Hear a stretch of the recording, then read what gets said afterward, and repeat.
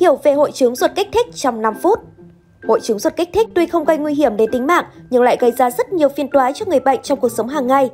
Vì sao lại nói như thế? Cùng dành ra 5 phút tìm hiểu qua video này nhé. Hội chứng ruột kích thích là gì? Hội chứng ruột kích thích là hiện tượng ruột bị rối loạn chức năng, tái đi tái lại nhiều lần mà cho dù bạn đi khám, làm các xét nghiệm đều không tìm thấy các tổn thương về giải phẫu cũng như tổ chức sinh hóa ở ruột. Ngoài ra, hội chứng ruột kích thích còn được biết đến với tên gọi viêm đại tràng có thắt, viêm đại tràng chức năng hoặc viêm đại tràng mãn tính. Tưởng tượng một ngày, bạn phải đi vệ sinh từ 3 đến 4 lần và những buổi hẹn quan trọng với đối tác, với khách hàng, bạn lại bị đau tháo rượt và phải đi giải quyết ngay. Thật là phiền toái phải không nào? Đây chính là một trong những dấu hiệu cho thấy bạn có khả năng bị hội chứng ruột kích thích. Vậy những nguyên nhân nào dẫn đến hội chứng này? Hiện các nhà khoa học vẫn chưa thể đưa ra kết luận chính xác nguyên nhân gây bệnh, nhưng có vài yếu tố mật thiết mà khi bạn gặp phải sẽ rất dễ gây ra hội chứng ruột kích thích này. Yếu tố hàng đầu gây bệnh đó là stress. Khi bạn suy nghĩ, lo âu quá nhiều dẫn đến căng thẳng thần kinh, khiến các triệu chứng xuất hiện hoặc biểu hiện nặng hơn.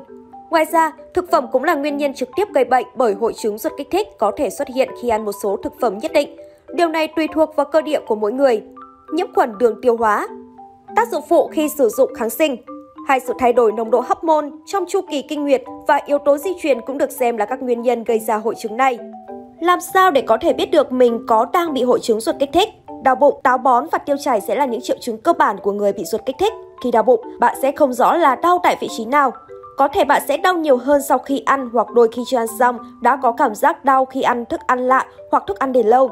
Nhưng cũng có nhiều trường hợp có thể đau do lạnh bụng. Cảm giác đau có thể chỉ diễn biến 1 đến 2 ngày nhưng cũng có thể kéo dài nhiều ngày chiến miên. Một tháng có thể đau vài lần hay cũng có người bệnh nhiều tháng mới đau một lần.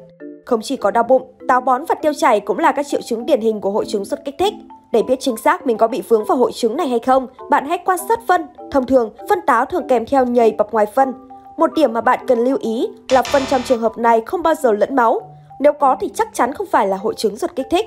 Ngoài những triệu chứng kể trên, bạn cũng có thể gặp các rối loạn khác như bụng đầy hơi, cảm giác nặng bụng, nhức đầu, mất ngủ, trung tiện nhiều và có cảm giác đi chưa hết phân.